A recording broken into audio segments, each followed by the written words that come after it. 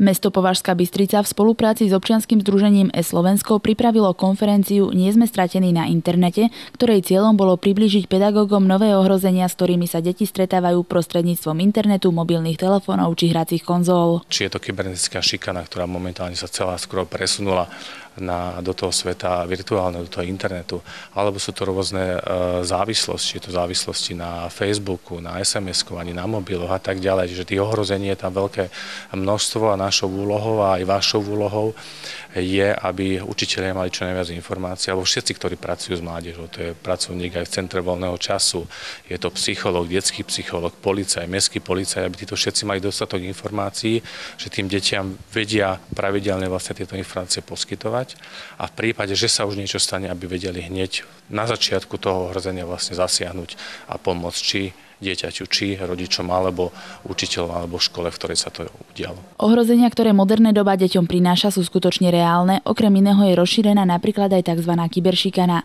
Prevencia je preto veľmi dôležitá. Hej, samozrejme, ten, kto šikanuje, sa nepôjde pochváliť, že ja šikanujem. Ten, kto je šikanovaný, tam máme štatistiku, len 10% detí povie, že je šikanovaných. Hej, aj to nepovedia rodičom, povedia to rovesníkom, čo zase sa nedostane vlastne k tým dospelým.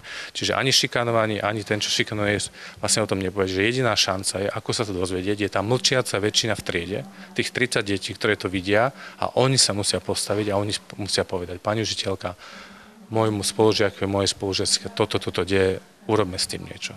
Hej, čiže tá prevencia je o tom, aby vedeli deti, že áno, takto sa to deje, s týmto sa môžete stretnúť na internete, že vám niekto ukradne fotku, e, zmení profil, e, zmení meno, zmení neviem čo a budete, budete šikanovaní a potom musíte zasiahnuť, musíte sa postaviť v tej triede, ísť za učiteľom, ísť za rodičom a niečo to riešiť. Čiže týchto ohrození je takto viacej a vieme, povedal vlastne aj teraz na tej konferencii vlastne rozprávame jednotlivé ohrozenia, ako sa má vlastne ten učiteľ správať, čo má hovoriť dieťaťu, aké nástroje má použiť. My odporúčame rozprávky ovce.sk, ktoré sú z našej dielne, že vlastne každá rozprávka je jednotlivé ohrozenie. Projekt ovce.sk využívajú aj v považsko-bystrických školách. Tento projekt som vlastne doniesol z ministerstva vnútra. Začali sme e, tento projekt e, realizovať na všetkých základných školách tu v Považskej Bystrici. A samozrejme máme aj partnerské mesto v Srbsku, Backa Palánka, kde som tento projekt doniesol osobne, aj upravený na ich podmienky pre e, detičky základných škôl, ktoré e, sa učia slovenskom jazyku. Zatiaľ máme veľmi dobré ohlasy, že reálne to funguje čisto deti e, v materských školách, čiže ten 3., 4., 5., 6. rok, kde možno niečomu ešte nerozumie, lebo tie ohrozenia naozaj prichádza až v 7. alebo v 9. roku. Hej, ale je dobré, keď to vidí, už to má v tej hlavičke, lebo naozaj keď sa rozprávame s tými deťmi, ktoré vidia tie rozprávky, že máme nejaké, nejaké rozhovory, tak vidíme, že, že to funguje tým, že dieťa povie, aha, tak to je tá ovečka, čo urobila, hej, tak to je ten zlý vlk, hej, že chápu vlastne ten príbeh, že čo sa tam odohralo, že nerozprávajú, že ale tá ovečka je pekne namalovaná, alebo ja ten, ten vlk je aký krásny modrý, alebo aký škaredý modrý a oni povedia ten príbeh. Čiže vidíme, že to reálne funguje.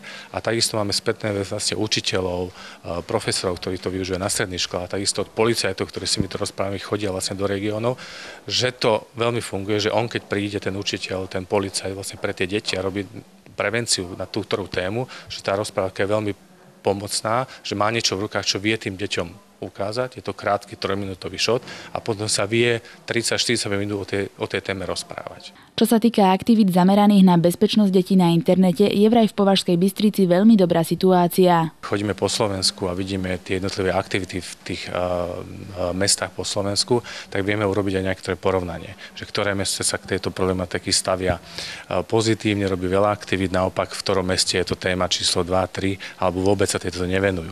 A musím úplne povedať, že za tie 2 alebo 3 roky cestovania po Slovensku a videnie tých všetkých aktivít, ktoré v mestách sa dejú, tak Považská Bystrica je číslo 1 na Slovensku. Čiže naozaj v tomto meste, vďaka Mestskému úradu, e, sa dáva veľká váha tomu, aby deti neboli ohrozené, aby sa urobilo niečo ešte predtým, ako e, reálne môže prísť nejakému ohrozeniu.